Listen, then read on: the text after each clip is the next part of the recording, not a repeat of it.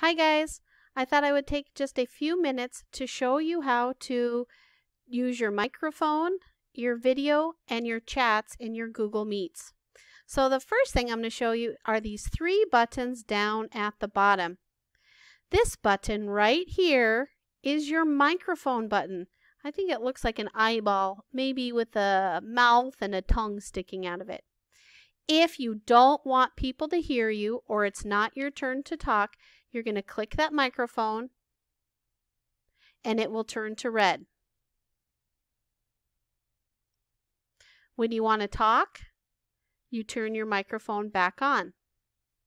Now, maybe you have to go and do something really quickly and you have to um, maybe grab something to eat and you don't want people to see that part you can turn your camera off. This one right here is the camera.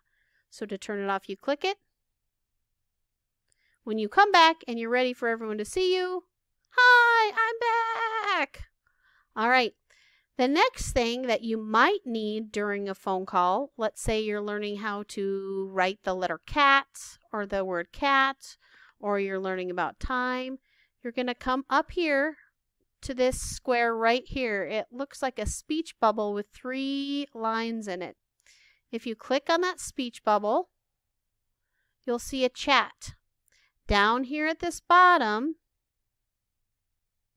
it will ask you to send a message. That's where you can type in, using your keys on your keyboard, your message.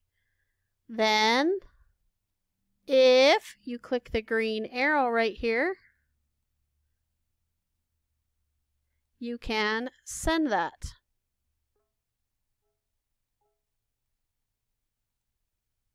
And then the cat will show up at the top. And anybody who's in your chat room can see what you've typed. Cat. I hope this has been helpful and I hope you can use it in your meets. Have a great day. Bye.